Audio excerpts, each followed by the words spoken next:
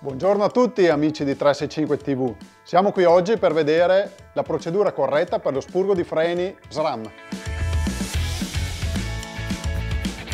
Vediamo di cosa abbiamo bisogno. Siringhe specifiche SRAM con raccordi dedicati. Separatore di pistoni, nel nostro caso guide.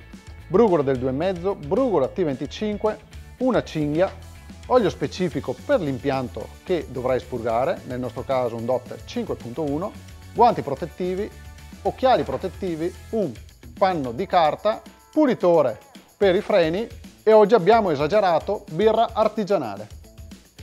Per prima cosa andiamo a togliere le pastiglie dalla pinza.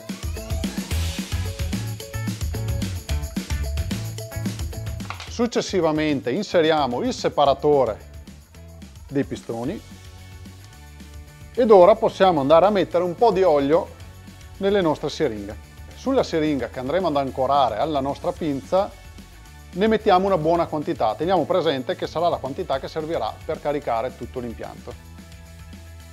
Ora possiamo aprire la nostra leva e ancorare la siringa.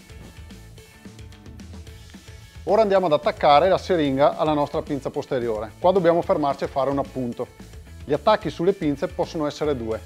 O bleed edge, come ho qui in mano io, oppure un, un ancoraggio a filetto come quello che abbiamo visto sulla leva.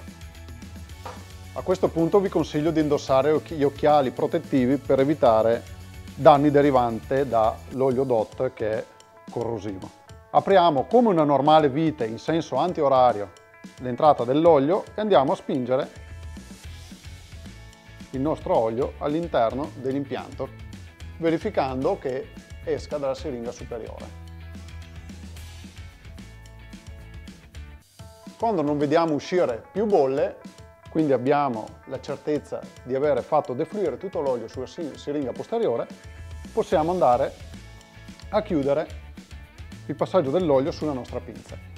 Arrivati a questo punto chiudiamo la nostra siringa e con il laccio precedentemente preparato andiamo a premere la nostra leva in modo da chiudere il nostro impianto.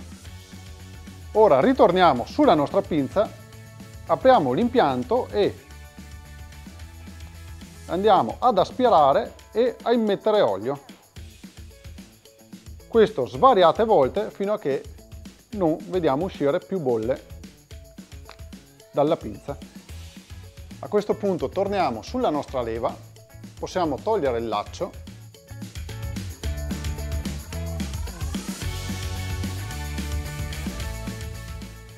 e andiamo a fare la stessa operazione che abbiamo fatto sul posteriore. Quindi aspiriamo e immettiamo olio nell'impianto fino ad osservare la mancanza di bolle. A questo punto possiamo notare che il nostro impianto funziona correttamente. Quindi togliamo la siringa posteriore facendo sempre attenzione di sporcare il meno possibile la pinza e lo stesso facciamo con la siringa superiore. A questo punto chiudiamo l'impianto e puliamo bene con il pulitore freni. Ora il nostro impianto è spurgato correttamente, non ci resta che montare le pastiglie. Vi aspetto per altri video molto interessanti sul nostro canale. Un saluto a tutti.